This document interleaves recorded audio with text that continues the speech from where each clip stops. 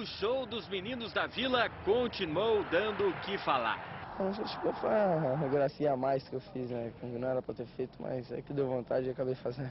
É coisa do nosso futebol brasileiro, coisa linda, maravilhosa. Então faz parte. Eu sei que quando eu fiz isso eles reclamaram, então acontece. Aos corintianos só restou reclamar de tudo. Afinal, a velocidade da meninada Santista foi demais para o veterano time de Mano Menezes. A gente foi prejudicado na falta que eu sofri, eu não sei, quatro assistentes, mais o juiz, e ninguém vê nada. Com futebol de gente grande, Neymar, que completou 18 anos no começo de fevereiro, vai transformando em realidade as previsões otimistas sobre o futuro dele.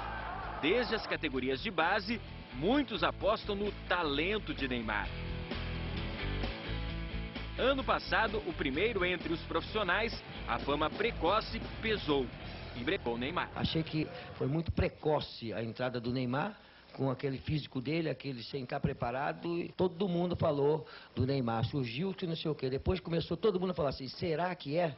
Um ano após a tímida apresentação contra o Corinthians no Paulistão de 2009, o garoto esbanjou categoria e personalidade. Não acabou xingando, falando um monte de coisa, mas é, entra por aqui, sai por aqui, tá tudo certo.